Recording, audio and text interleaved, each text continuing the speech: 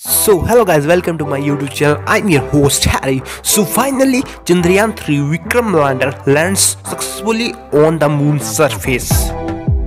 Okay please watch this last moment video. This is very beautiful video.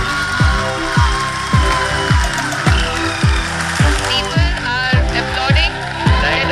okay thank you. Now India is the first country to land in moon's south pole this is the incredible moment for ISRO. So this is the ISRO's official uh, Twitter account uh, Chandrayaan 3 mission India. I reached my destination and you too Chandrayaan 3 it was soft landed so now India is the first country to land in moon's south pole.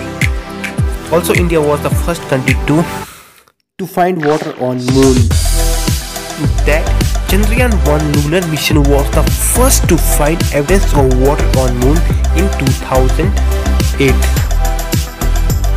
and after that Chandrayaan 3 will uh, do the further research on moon on south pole. At last congratulations for ISRO and all over the world space agencies for this successful mission. Thank you uh, and have a nice day